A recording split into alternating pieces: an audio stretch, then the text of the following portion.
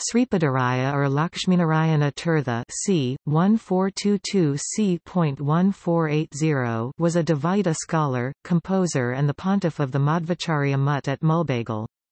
He is widely considered as the founder of Haridasa movement along with Narahari Tirtha.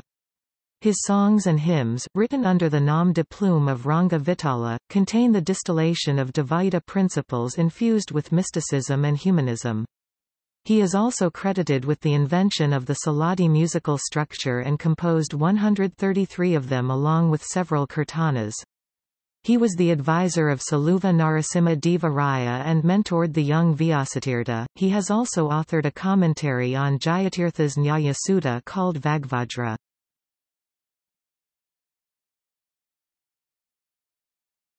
Topic: Life Sripadaraya was born in Abbur, a village in Channapatna Taluk, Karnataka. His father, Sheshagiriyappa, served as an accountant while young Sripadaraya looked after the cattle, studying Sanskrit texts in his spare time.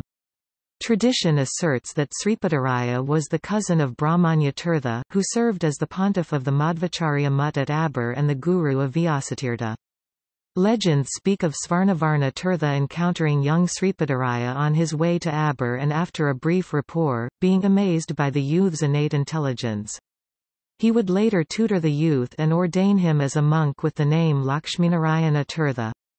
Lakshminarayana Tirtha eventually succeeded Svarnavarna Tirtha as the pontiff of the Mutt at Mulbagal. Affectionately known as Sripadaraya, he was considered the guru of Saluva Narasimha Deva Raya and educated Vyasatirtha in the Shastras. His songs and hymns were sung during the nighttime bhajans at his mutt.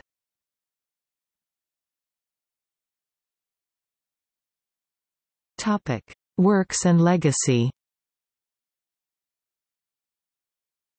Continuing the tradition of Vedanta, he authored a commentary on Nyaya Sudha of Jayatirtha called Vagvajra which, according to Sharma, is a lucid and attractive commentary in 3,500 granthas. He also adds that despite the exhaustive exposition and the graceful style, his role as a Haridasa eclipsed his scholarly work. He is often considered as the pioneer of Dasa Sahitya with his simple worded and spiritual hymns synchronized to music.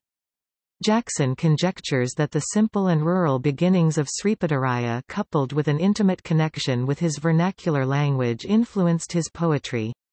He composed 13,000 suladis, which are songs containing a medley of different ragas and talas often employed to set the mood of the narrative. Sharma notes, his songs are more sublime than those of any others, and possess a happy blending of rhythm and meaning.